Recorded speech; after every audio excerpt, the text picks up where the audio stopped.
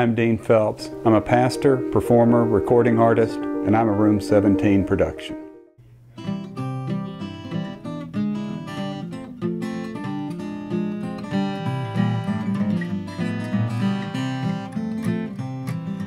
With her old harmonica, she stood against the wall. Her silver head kept time as I would play.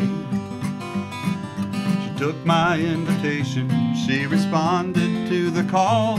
And as we shared an old refrain, I knew I had to say, Play on, Pauline, there's music in the air. Play on, Pauline the song can lift the load that you bear.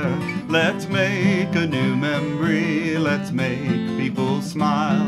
Because you've got a song, play on Pauline.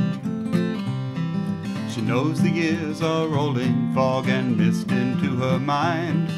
Familiar scenes will slowly fade from view. Someday friends and family might be strangers left behind. But for today, each note she plays will ring out clear and true. From this valley, they say you are going. We will miss your bright eyes and sweet smile. For they say you are taking the sunshine that has brightened our pathway a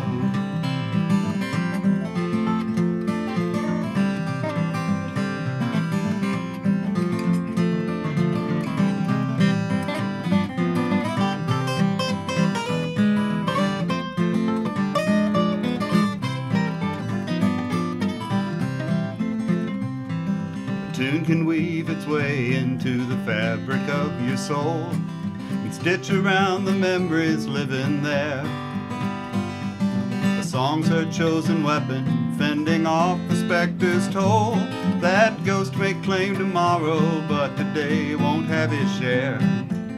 Play on, Pauline, there's music in the air. Play on, Pauline, the song can lift the load that you bear.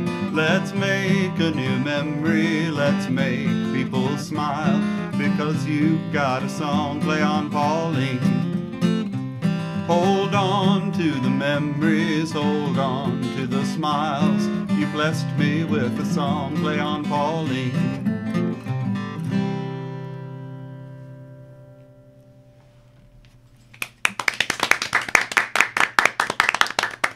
Great job. You've just listened to Dean Phelps and Warren Cobb playing. What was the name of that song, Dean? It's called Play on Pauline. Okay, and we are so glad you've been able to be here with us today. You had a closing thought, I believe, or something connected to Liza's story. Well, it is that that song is one that I wrote when I played a, a festival in Brown County. It's actually a, a woman that I met up there.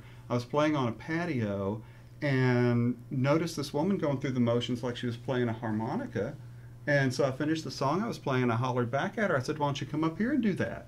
She said, Why? I said, Because it would be fun. Yeah. Uh, so we did. We played a song together. And, you know, I got to thinking that one of the things that, that Sara reinforced for me is singing as a community activity, a group thing, singing together. Your story, Liza, about how music, you know, brings physical healing.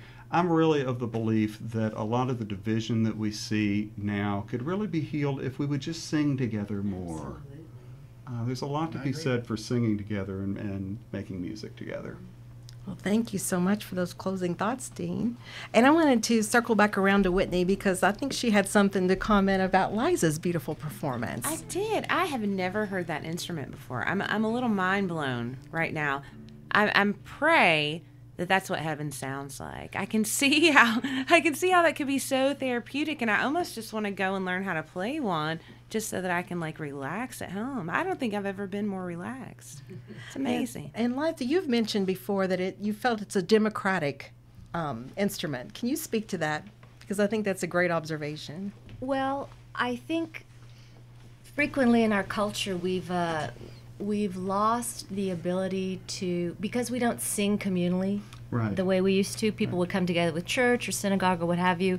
Or, you know, in other times when people were hoisting up the sails and they're singing songs, we don't have that kind of daily singing, which I think binds us together as a community, but it's also toning our own, you know, lungs and organs, you know, that all of that sound vibration is really healing ourselves on a deep level. With a monochord, um, so with that being said, uh, I think that we have a tendency to feel like, you know, music belongs to the musicians. That you have to be specialized. That you have to really know how to play. And and what I like about this instrument, it's very calming and it's not difficult to play. It, but it still has an amazing. Uh, sonic effect on on the mind and the body so it's not difficult to play but it's it doesn't make it any less um, profound or important well, we are so thankful for all of you for being with us today. All of these wonderful Room 17 productions. And I'm going to have Dean kind of carry us out here with a little instrumental version. We started with Simple Gifts, and we're going to end with Simple Gifts. And I just have a few closing comments.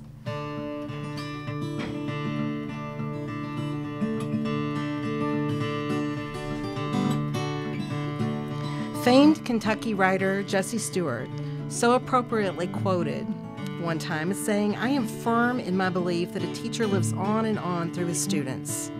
Good teaching is forever, and the teacher is immortal. Professor Emeritus Holroyd will be awarded an honorary doctoral degree from the University of Kentucky at Rupp Arena. And at 93 years old, she will become Dr. Sara Holroyd to all of us. I'd like everybody to join as I say one, two, three. We love you, Sara. One, two, three. We love, we love you, Sara. Sara. That's all for today. This is Renee Collins reminding you that when words fail, music speaks. Have a great week, everyone.